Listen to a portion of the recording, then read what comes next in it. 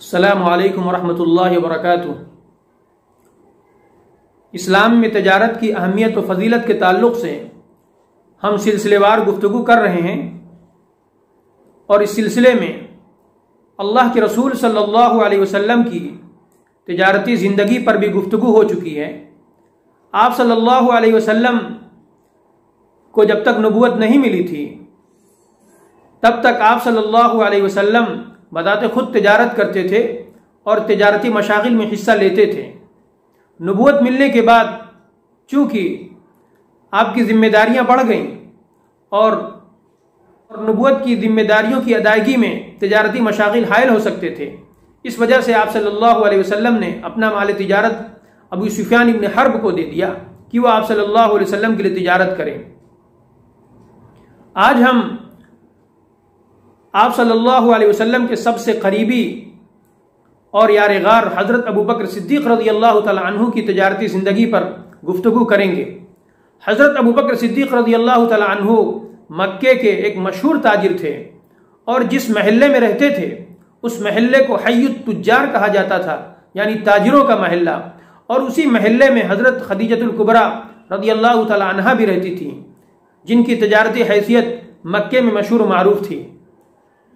اور تجارت کی غرض سے حضرت ابکر صدیق رضی اللہ تعالیٰ عنہ شام جایا کرتے تھے اور اسلام لانے کے بعد بھی انہوں نے یہ تجارتی مشاغل جاری رکھے، جیسا کہ ابن ماجہ نے اور بہت سے مرخین اور محدثین نے بھی حضور صلی اللہ علیہ وسلم کی وفات سے ایک سال قبل حضرت ابو بکر صدیق رضی اللہ تعالیٰ عنہ کے شام کی طرف ایک تجارتی سفر کا تذکرہ کیا ہے۔ محمود شاکر نے الخلفاء الراشدون میں لکھا ہے کہ حضرت ابوبکر صدیق رضی اللہ تعالیٰ عنہ ایک تجارتی سفر میں شام میں تھے تو انہوں نے ایک خواب دیکھا۔ تو بسرا کے راہب بحیرہ کو انہوں نے اپنا خواب بیان کیا۔ تو بسرا نے ان سے کہا کہ تم کہاں کے ہو؟ انہوں نے جواب دیا مکے کے۔ بسرا نے پوچھا، مکے کے کس قبیلے سے؟ انہوں نے جواب دیا، قریش سے۔ پھر پوچھا کہ تم کیا ہو؟ حضرت بکر صدیق رضی اللہ تعالیٰ عنہ نے جواب دیا، میں تاجر ہوں۔ بسرا نے کہا کہ اگر اللہ تمہارا خواب سچ کر دکھائے، تو اس کا مطلب یہ ہے کہ تمہارے قبیلے میں ایک نبی مبوس ہوگا، جس کی زندگی میں تم اس کے وزیر اور دست راست بنو گے اور اس کی وفات کے بعد اس کے خلیفہ اور جانشین بنو گے حضرت بکر صدیق رضی اللہ تعالیٰ عنہ نے یہ بات اپنے دل میں چھپائے رکھی یہاں تک کہ حضور صلی اللہ علیہ وسلم کو اللہ تعالیٰ نے نبی بنا کر مبوس فرمایا۔ حضرت بکر صدیق رضی اللہ تعالیٰ عنہ کی تجارتی زندگی مکے میں مشہور و معروف تھی اور اپنی تجارت سے، اپنے مال تجارت سے وہ ہمیشہ غربا، فقرا، مساکین اور بیواؤں کی مدد کرتے رہتے تھے۔ جیسا کہ ابن الدغنہ کے بیان سے معلوم ہوتا ہے جس نے خود حضرت ابوبکر صدیق رضی اللہ تعالیٰ عنہ سے کہا تھا کہ ان نقل تصل الرحم، کہ تم تو سلا رحمی کرتے ہو وہ تصدق الحدیث، اور سچی بات بیان کرتے ہو، سچ بولتے ہو وہ تقسیب المعدوم، اور غریب پروری کرتے ہو۔ جو لوگ پریشان حال ہیں، دکھیارے ہیں، مصیبتوں کے مارے ہیں، تم ان کی اعانت کرتے ہو وہ تقریب ضعیف اور مہمان نوازی کرتے ہو۔ اسلام لانے کے بعد اپنا مال تجارت انہوں نے اسلام کے لیے کھول دیا اور اسلام اسلام کے لیے اپنا مال تجارت لگا دیا۔ محدثین نے، بہت سی روایتیں اس تعلق سے لکھی ہیں۔ چنانچہ ایک روایت میں آتا ہے کہ حضرت ابو بکر صدیق رضی اللہ تعالیٰ عنہ جس وقت اسلام لے آئے، اس وقت ان کے پاس چالیس ہزار درہم تھے۔ اور جس وقت انہوں نے ہجرت کی، اس وقت صرف پانچ ہزار درہم بچے تھے۔ باقی کے پینتیس ہزار درہم انہوں نے مسلمانوں پر، غریب مسلمانوں پر خرچ کر دیا۔ تاریخ میں لکھا ہوا ہے کہ انہوں نے سات ایسے مسلمانوں کو خرید کر آزاد کیا جو غریب تھے اور جو بہت ستائے جاتے تھے، جن کے آقا انہیں ستاتے تھے اسلام لانے کی وجہ سے۔ تو حضرت ابکر صدیق رضی اللہ تعالیٰ عنہ نے انہیں خرید کر آزاد کر دیا۔ انہیں میں حضرت بلال ابن رباح، حبشی رضی اللہ تعالیٰ عنہ بھی تھے اور حضرت عامر ابن فہرہ بھی تھے۔ حضرت بکر صدیق رضی اللہ تعالیٰ عنہ خرچ کرنے میں اس قدر آگے تھے کہ خود قرآن خود قرآن کریم نے ان کے بارے میں بیان کیا ہے۔ قرآن کریم میں اللہ تبارک و تعالیٰ نے فرمایا، وَسَيُجَنَّبُهَا الْأَتْقَى الَّذِي يُؤْتِي مَالَهُ يَتَزَكَّى وَمَا لِأَحَدٍ عِنْدَهُ مِن نِعْمَةٍ تُجْزَى إِلَّا ابْتِغَاءَ وَجْهِ رَبِّهِ الْأَعْلَى وَلَسَوْفَ يَرْضَى کہ عن قریب سب سے زیادہ متقی شخص اس آگ سے دور رکھا جائے گا، جو اپنا مال خرچ کرتا ہے تاکہ خود پاک ہو، تزکیہ حاصل کرے، اور اس پر کسی کا کوئی احسان نہیں ہے جس کا بدلہ دیا جائے۔ یہ جو آیت ہے، وما لأحد عنده من نعمت تجزا کہ حضرت ابو بکر صدیق رضی اللہ تعالی عنہ پر کسی کا کوئی احسان نہیں جس کا بدلہ دیا جائے۔ یعنی یہ خود خرچ کرتے تھے۔ اور کسی کو اپنے اوپر خرچ نہیں کرنے دیتے تھے اور احسان نہیں لیتے تھے۔ چنانچہ صلح حدیبیہ کے موقع پر عروہ بن مسعود جو قبیل ثقیف کے سردار تھے اور اس وقت ایمان نہیں لے آئے تھے، وہ قریش کی طرف سے گفتگو کرنے آئے تو بات بات میں حضور صلی اللہ علیہ وسلم کی داڑھی پکڑ لیتے تھے۔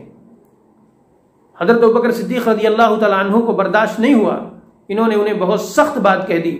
تو عروا ابن مسعود نے کہا، اگر تمہارا مجھ پر احسان نہ ہوتا، تو آج میں تمہاری، آج میں تمہارا بدلہ دیتا۔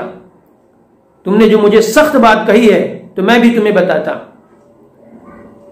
اس کے علاوہ، اصحاب جلالین نے اس آیت کے ذیل میں لکھا ہوا ہے کہ جب حضرت بکر صدیق رضی اللہ تعالیٰ عنہ نے حضرت بلال ابن رواح رضی اللہ تعالیٰ عنہ کو خرید کر آزاد کیا، تو کفار نے کہا کہ لگ رہا ہے کہ بلال کا ان پر کچھ احسان ہے جس کا یہ بدلہ چکا رہے۔